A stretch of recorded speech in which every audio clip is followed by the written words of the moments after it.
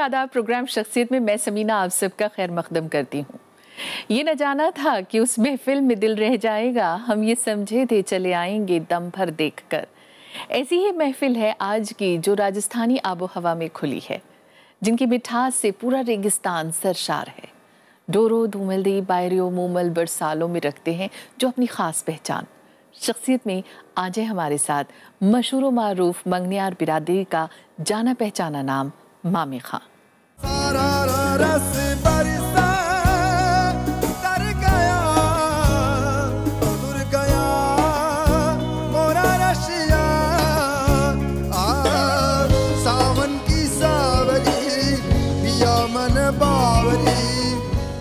जैसलमेर, बाड़मेर, बीकानेर जिलों में फैले थार के रेगिस्तान में एक ऐसी मिठास है जो कानों में घुल कर रह जाती है। खमांगनी साहब? मेरा नाम मामे खान मांगनियार है। मैं राजस्थान जैसलमेर के एक छोटे से गाँव सत्तो में रहता हूँ। मैं मांगनिया कम्युनिटी से बिलोंग करता हूँ, जो कि 14-15 पीढ़ी से लोक संगीत गा रहे हैं। पीढ़ी दर पीढ़ी चली आ रही विरासत को बड़ी खूबसूरती से निभाने का अज़्म किया। मंगनियार बिरादरी की गीत संगीत की विरासत सीना दर सीना चली आ रही है। लिखित में कुछ भी नहीं है। जो बुज़ुर्गों को गाते सुना वही सीखा। कबीरा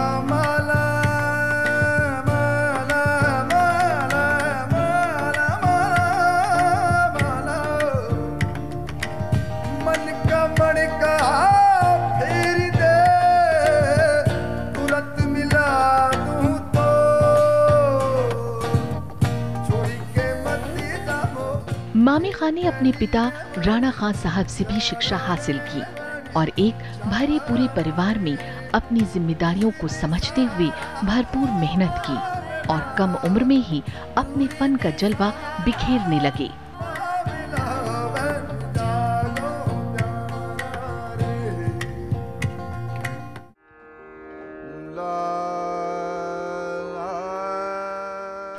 खान जिनकी आवाज़ का जादू पूरी दुनिया में छा चुका है। सूफी गीतों में भी उनकी आवाज़ लाजवाब है।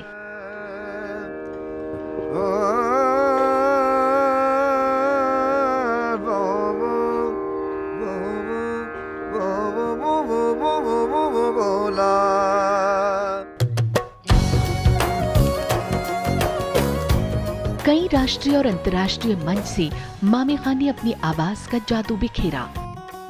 यही नहीं, कोक स्टूडियो में भी उनकी आवाज़ का जादू सुनने वालों को मदमस्त कर गया।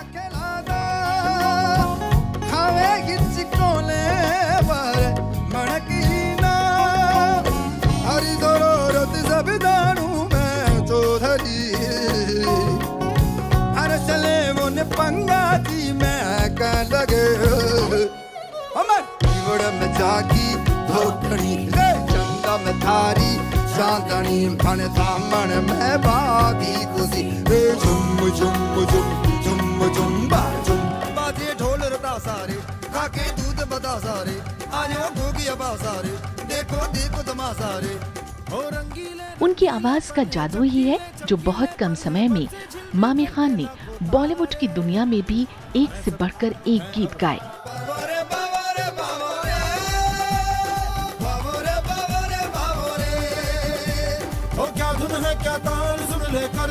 कमाल सुन ले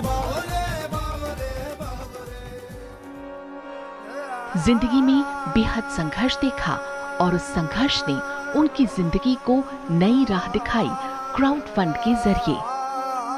मामी खां मंगनियार बिरादरी का एक नायाब सितारा है, जो हिंदुस्तान की सांस्कृतिक विरासत की खूबसूरत बाग को बड़े सलीके से आगे बढ़ाते रहने की ख्वाहिशमंद है।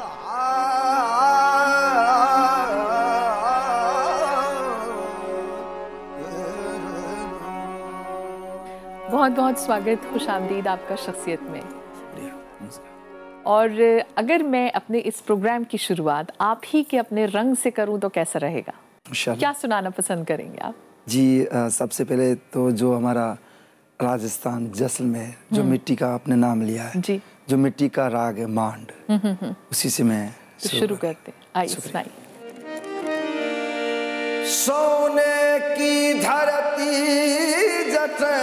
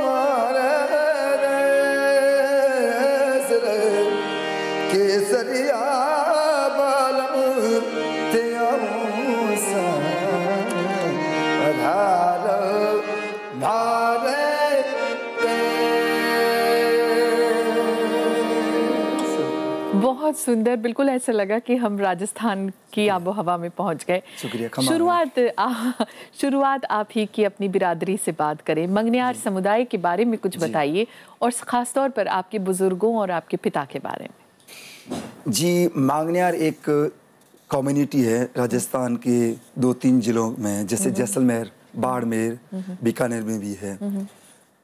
और मांगनियार और मिरासी एक ही चीज़ है जो नागौर में भी है जयपुर के आसपास गाँव में भी है।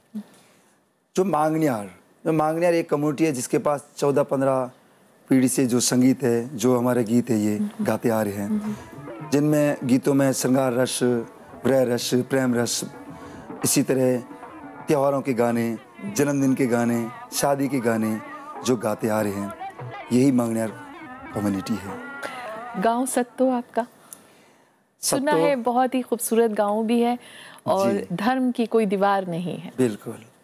सत्तो एक ऐसा गाँव है जहाँ हर धर्म के लोग रहते हैं। हिंदू राजपूत लोग जो हमारे रॉयल फैमिली से उनके रिश्तेदार हैं वो वो हमारे जजमान हैं। वो रहते हैं। वहीं पर मुसलमान लोग भी रहते हैं। और उसके अलावा जो मेघवंशी हैं हर कला के लोग जैसे सुथार होते हैं दर्जी होते हैं वो भी रहते हैं। तो और हम मांगने लोग। तो एक धर्म निरपेक्ष उसको कह सकते हैं। वो रहते हैं उधर और वो हमारे पेट्रॉन्स जजमान हैं पंद्रहवीं पीढ़ी है ना आपकी ये तो। तो आपको कब याद पड़ता है? कब आपकी शिक्षा शुरू हुई? और फिर जो कहते हैं ना एक बहुत बड़ा परफॉर्मेंस आपका कहाँ रहा? जी मेरी शिक्षा की अगर बात करें तो एक कहावत है कि मांगनेर का बच्चा अगर रोता है तो वो भी स्वर में रोता है। तो शिक्षा तो बस जन्म से ही मेरी यही काम है। जैसे हमारे दूसरे बच्चे जिसके खिलौने होते हैं उनके गुड्डा गुड्डी वगैरह वो खेलते हैं। तो हमारे जो खिलौने ये कमायचा हारमोनियम ढोलकी हमारे खिलौने हैं होते थे। तो उन्हीं से हम खेलते थे। और शिक्षा तो बचपन से यही काम है। जब भी उठता था पाँच छः बजे हम तो पहला अगर आवाज़ सुनता था तो वो मेरे फादर उस्ताद राना खान साहब रियाज करते हुए मेरे को सुनाई देता था। जो मैं जब मैं जब से समझने लगा पाँच छः साल सात साल की उम्र में थोड़ा समझने लग जाता बच्चा। उससे पहले तो बस वही था लेकिन उस समय ये मालूम पड़ा कि बस वो गा रहे हैं। तो शिक्षा बचपन से ही हमारी शुरू हुई और ये नहीं कि शिक्षा हमारे में फादर से नहीं हमारे जब फादर बाहर शो के लिए चले जाते थे प्रोग्राम के लिए तो हमारी माता जी हमारी बहन हमारे भाई उनसे भी हम सीखते थे। अच्छा। वो भी गाते थे। तो बस हाँ। गाने का उठना बैठना खाना पीना गाना बजाना। अच्छा। फिर आप दिल्ली भी आए सुना मैंने? जी दिल्ली बालक कलाकार के रूप में हमारे समाज के लोगों के साथ आया था। उस समय अपने प्रधानमंत्री शायद राजीव गांधी जी थे उनके सामने हमने गाया। और उसके बाद हमारे को स्कॉलरशिप भी मिला सीसीआरटी से। ठीक है। फिर आपका एक बहुत बड़ा परफॉर्मेंस होता है जी अ, वो न्यूयॉर्क में। जी। देखिए हमारी भी ब्रांच है मांगनिया समाज में। हमारा घराना जो राना खान घराना है उनके फादर उस्ताद यूसुफ का घराना उनके बड़े भाई मौले खान साहब। तो हमारा घराना गाने के लिए जाना जाता है। लेकिन मैंने गाना तो मैंने गाया लेकिन मेरा मेरे को गाने के लिए बोलते थे गाना गाता था लेकिन मेरा ज़्यादा ध्यान ढोलक पर था। अच्छा। तो मैं ढोलक बजाता था। हाँ। तो 99 की जैसे आप बात करें मेरा बड़ा शो हुआ अमेरिका में सेंट्रल पार्क में। हाँ। तो पहली बार मैं अब्रोड गया मेरा बड़ा शो। उस समय मैं गाता तो था ही हाँ। लेकिन मैंने स्टेज पर ढोलक बजाया अच्छा। दूसरे लोगों के साथ में। हाँ हाँ हाँ हाँ। तो और खुद ने फिर गाना कब शुरू किया? ये मेरे मेरे जीवन का कहूँ या मेरे संगीत का जो भी थोड़ा मेरा मोड़ था। हाँ। एक कहते हैं टर्निंग पॉइंट हाँ। तो 99 में जब मैं गया तो मैं ढोलक बजाता था मेरे फादर को सहयोग मिलता था ढोलक का तो लेकिन वो हमेशा बोलते रहे देखिए अब गाइए अब गाइए ऐसा बोलते रहते थे हमेशा। और मैं गाता था। तो 99 में जब मैं वापस आया तो मेरी दो ढोलक अभी भी बेल्जियम में पता नहीं कहाँ है। तो मैं वापस आया तो मेरे फादर को मैंने बोला कि मैं मेरा वीज़ा लगा हुआ है। मेरा ढोलक का? मैंने बोला ढोलक तो उधर ही है मेरी बेल्जियम में विदेश में है। तो बोला ढोलक क्यों नहीं लाए? तो मैंने बोला इसलिए नहीं लाए हम कि हमारे को पंद्रह बीस दिन वापस जाना है। और पंद्रह दिन हो गए तो कोई कारणवश मैं नहीं जा पाया। जा पाया। तो उस्ताद जी आए मेरे को बोला बेटा क्या होगा? आप तो जाने वाले थे। मैंने बोला कुछ नहीं वो मैंने ऐसे टाल मटोल दिया. लेकिन वो जो बंदा जो उस्ताद मेरे जो राणा खान साहब मेरे फादर उन लोगों ने पता नहीं किन किन लोगों के सामने गया था तो वो तो पढ़ लेते थे कि सामने वाला बंदा क्या कहना चाहता है और क्या वो कह नहीं पा रहा है। तो उन्होंने बोला हाँ हाँ मालूम है आप ऐसा करो कल से गाना स्टार्ट करो। अरे वाह तो आपको यूँ इजाज़त मिल गई। ये बोला और ये भी बोला अल्लाह पाक एक दरवाज़ा बंद करता है तो हज़ार खोलता है। बहुत सही। तो उस दिन से मैं एज ए प्रोफेशनल बोले क्या जो भी हाँ। इस तरह से मैं उसी दिन से मैं गाना गा रहा हूँ शुरू कर दिया बस शुरू कर कुछ सुनाएँगे ना पसंद करेंगे जो आपको बेहद पसंद हो जी मैं आपको मेरे उस्ताद जी का ही मेरे फादर राणा खान साहब का मेरे हाँ। उस्ताद मौले खान साहब थे क्योंकि हाँ। हमारे समाज में उस फादर उस्ताद नहीं बनते तो गंडा जो बनते हैं वो कोई और से अच्छा। बना तो राणा खान साहब की एक कंपोजिशन में बिल्कुल बिल्कुल न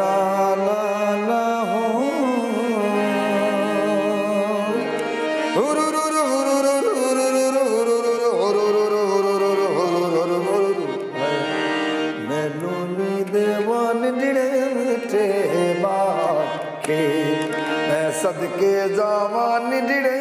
थे बाके।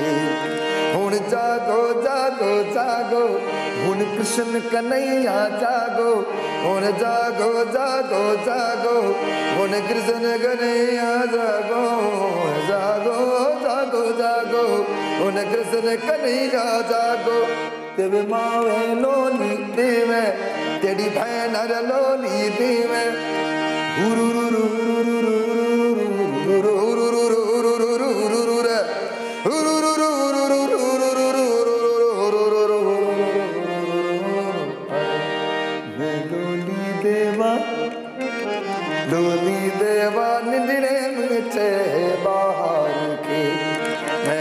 सदके जावा निंदने मिठे बहुत सुंदर बहुत ही खूबसूरत। शुक्रिया। मामी खान साहब आपके कुछ अपने हैं और जो आपके आज तक के काम को देखते रहे हैं उन्हें अपनी राय का इजहार किया है। चाहेंगे आप भी उन्हें देखें और फिर आपको जो लगे उनके लिए आप बोलना चाहें आप बोलें।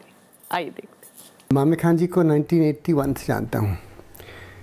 उस साल अ, मैंने उनके वालिद साहब के बारे में एक फ़िल्म बनाई थी राणा खान जी। और 81 के बाद इत्तेफाक से मुझे 25 साल हमारे गुजर गए before I went back to the desert Mame Khan ji has a great future because he is for one एक तरह से he is the heir to the whole tradition of the Manganiyars he is got a wonderful voice uh, is able to actually sing like a classical player sometimes when he wants to. लेकिन मैं हमेशा कहता हूँ कि भैया देखो आप classical की तरफ़ मत जाओ। और जो सूफ़ी गीत, सूफ़ी जो पूरा जो परंपरा है, उसके पास भी मत जाओ बिकॉज़ आप उस सागर में you will be a small fish और अपनी सागर में you are a huge you are a whale you know और जो मंगनी हार का tradition it's so rich it's so unique अगर आप बाहर जाते हैं आज की तारीख में you are going as a Manganiyar not going as a classical singer और semi classical singer so use that tradition to become you know famous to become a wonderful singer मैं मामे खान को डेफिनेटली बहुत करीबी से जानती हूँ। उनकी आवाज़ ऐसी है कि मुझे मिट्टी की याद आ जाती है, फ़कीरी की याद आ जाती है, पुरानी अंदाज की, गायकी की याद आ जाती है। वो जगह जहाँ से शास्त्रीय संगीत निकला है, उसकी याद आ जाती है। मामे खान बहुत ही प्यारी पर्सनालिटी हैं। वो कृष्ण से जुड़े हैं अंदर से और वही मिठास, वही खूबसूरती, वही रूह, वही प्रेम बरसता है उनकी आवाज़ से। तो मैं मामे खान को अपनी तरफ़ से I wish him always the best he is a very precious person and he will go very far and I wish him truly best from my heart क्या कहना चाहेंगे? जी ये मेरे अपने ही लोग हैं और मेरे को बहुत मोहब्बत करते हैं और काफ़ी सालों से मेरे को गाते हुए सुन रहे हैं और मेरे को बड़ा होते हुए देख रहे हैं। तो मेरे को प्यार भी करते हैं और मेरे पर गर्व भी है उनको। बिल्कुल आपसे बातचीत का सिलसिला हम जारी रखेंगे मामी खान साहब। ले रहे हम एक छोटा सा ब्रेक हाजिर होते हैं बस थोड़ी देर में आप देखते रहिए शख्सियत।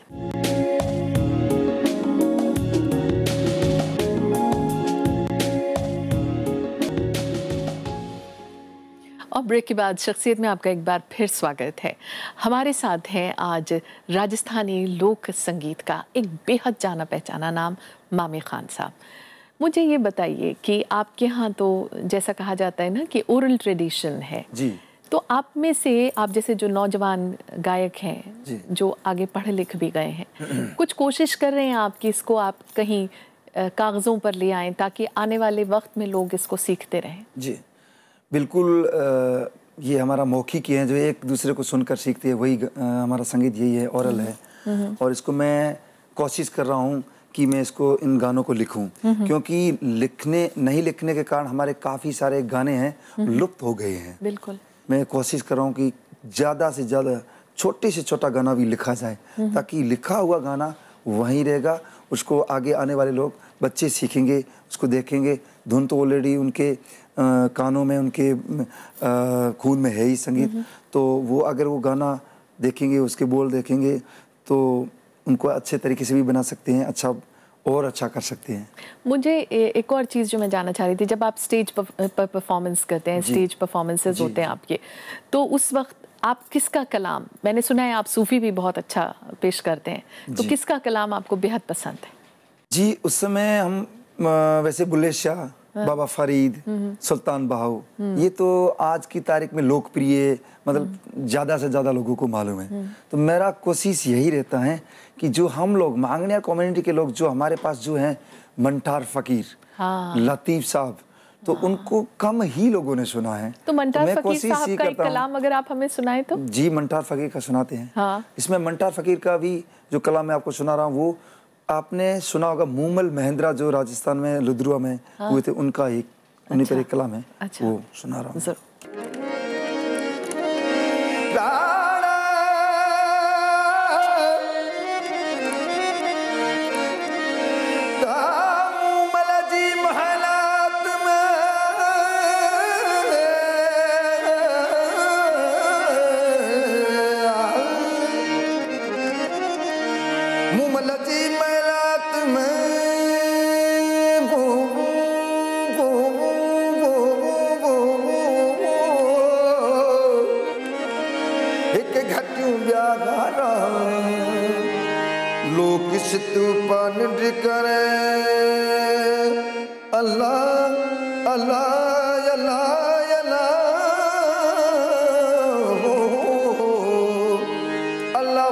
मुमल गिणदी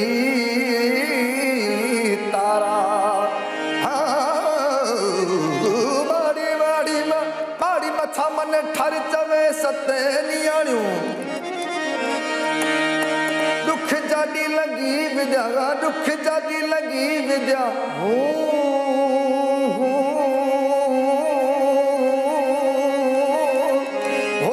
करत रजाणू कोजन करत रजाणू आत करू काक तेरा रे। जाणू आत करू काक तेरा रे। जाणू आपके कुछ और अपने हैं जिन्होंने अपनी राय का इजहार किया। मैं चाहूँगी आप उन्हें भी देख लें। आई देखते मामे खान को तो मैं बहुत सालों से जानती हूँ जब से वो बहुत छोटे थे।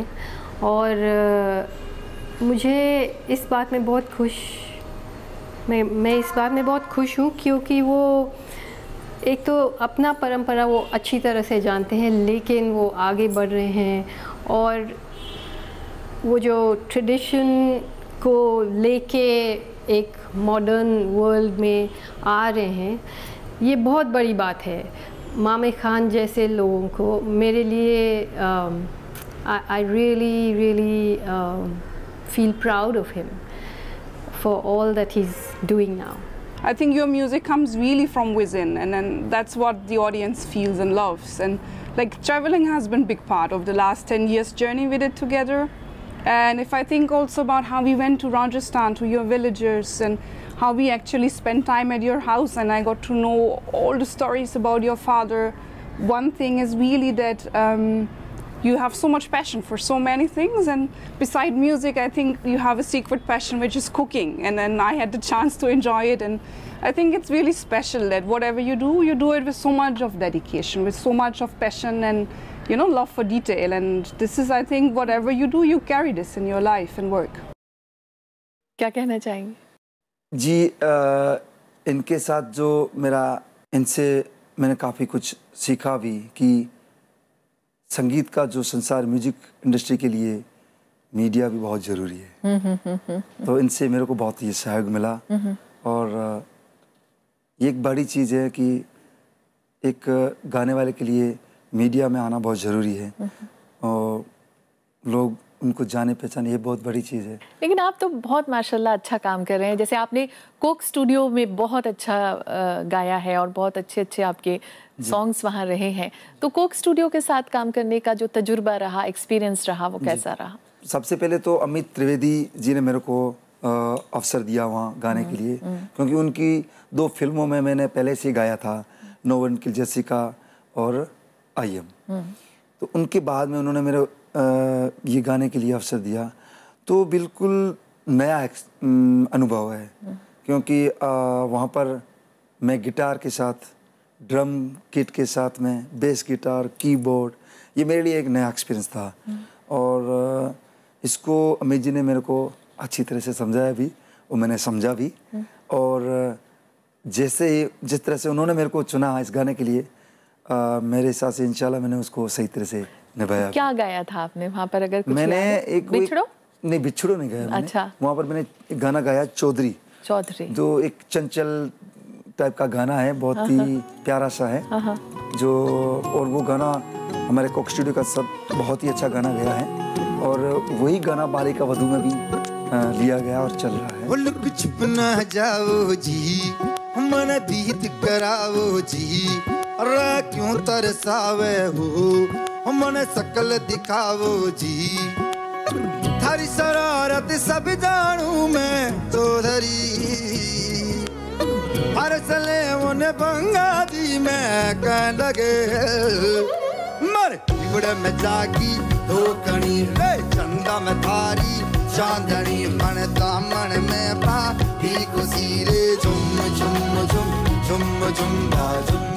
मावे खान साहब मैंने सुना है कि आप बहुत सारी भाषाओं में गाते रहे हैं। तो उसका एक नजराना हमारी ऑडियंस के लिए हो जाए। आ, जी बिल्कुल।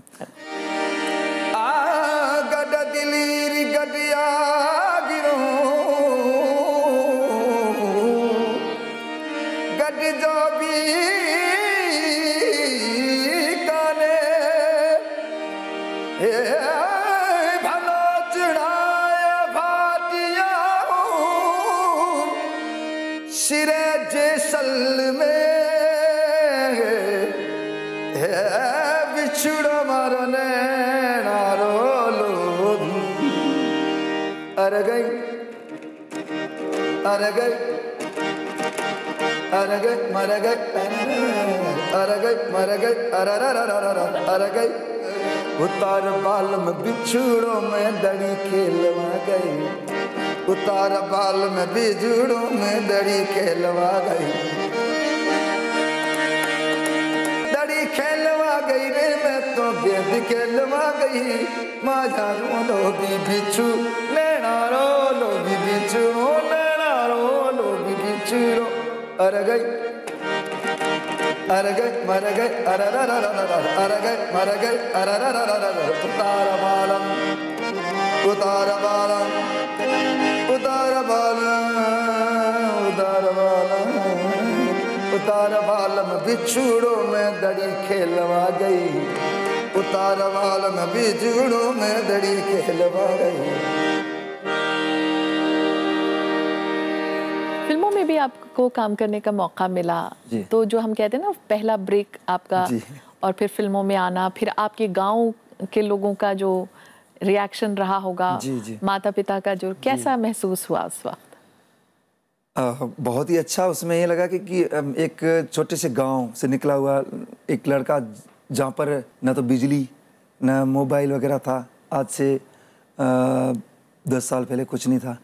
अभी है बिजली वगैरह। तो जो एक गाँव से निकला हुआ एक बिल्कुल धोरों से निकला हुआ लड़का कोई फ़िल्मों में गा रहा है तो उनके लिए भी एक गर्व का गर्व महसूस उन्होंने किया और मेरे को भी बहुत अच्छा लगा कि उन लोगों ने इतना मेरे को रेस्पॉन्स दिया। और मेरा पहला फ़िल्म जो था वो luck by chance Shankar Mahadevan ji के साथ में मैंने हाँ, बावरे बावरे बावरे बावरे किया हाँ। फिर अमित जी के साथ जैसे पहले बताया था मैंने हाँ, वो दो फ़िल्में की हाँ, और बिल्कुल अलग तरह से एक्सपीरियंस है क्योंकि एक तो लाइव में गाना और एक म्यूज़िक आपका संगीत पहले से तैयार है। हाँ। आपको हेडफोन डालकर खाली जो आपका खाली स्थान है वहाँ पर गाना। तो ये बिल्कुल अलग तरह का अनुभव रहा।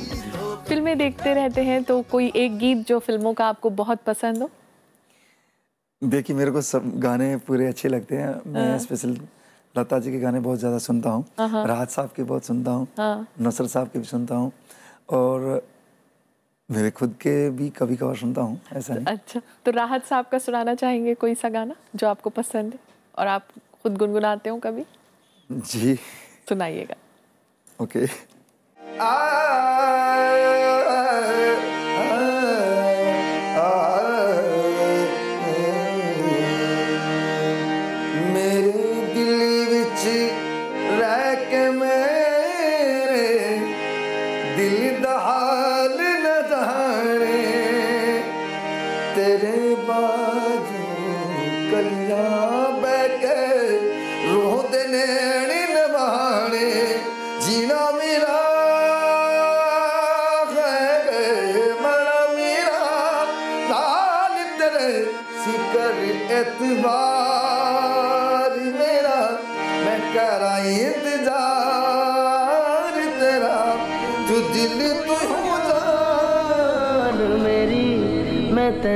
समझावा के ना तेरे बाजू लग दाजे हाय तू कि जाने प्यार मेरा मैं करा इंतज़ार तेरा। तू दिल तो तू यू जान मेरी शख्सियत में आप तशरीफ़ लाए आपका बेहद शुक्रिया। शुक्रिया कमांगनी तो शख्सियत में आज फ़िलहाल इतना ही। कुछ और ताबिंदा सितारों के साथ आपसे होती रहेगी मुलाकात। इजाज़त दीजिए। नमस्कार। आदाब।